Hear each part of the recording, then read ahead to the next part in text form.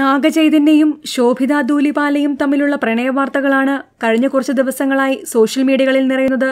ഈ വാർത്ത കെട്ടിച്ചമച്ചതാണെന്നും നടി സമാന്തയുടെ പി ആർ ടീമാണ് വാർത്തകൾക്ക് പിന്നിലെന്നുമാണ് നാഗചൈതന്യയോട് അടുത്ത വൃത്തങ്ങൾ പറഞ്ഞിരുന്നത്. ഭർത്താവിന് കാമുകിമാരെ ഉണ്ടാക്കി കൊടുക്കലല്ല തന്റെ പണി എന്ന ചുട്ട മറുപടിയുമായി സമാന്തയും തിരിച്ചടിച്ചിരുന്നു. ഇന്നലെ പുറത്തുവന്ന വാർത്തയനുസരിച്ച് ഡിസംബർ അവസാനത്തോടെ ഇരുവരും വിവാഹിതരാകുമെന്നാണ് സൂചനകൾ. എന്നാൽ നാഗചൈതന്യയുടെ പിതാവും തെലുങ്ക് സൂപ്പർ താരവുമായ നാഗാർജുന ഈ വിവാഹത്തിന് സമ്മതിച്ചിട്ടില്ല എന്നാണ് അറിയുന്നത്.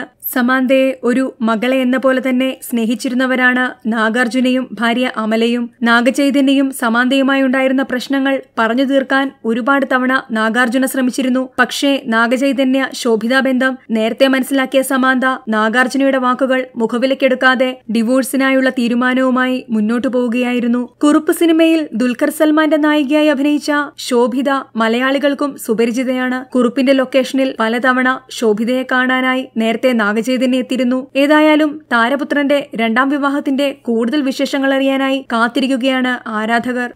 കൂടുതൽ എന്റർടൈൻമെന്റ് വാർത്തകൾക്കായി ദയവായി ചാനൽ സബ്സ്ക്രൈബ് ചെയ്യൂ.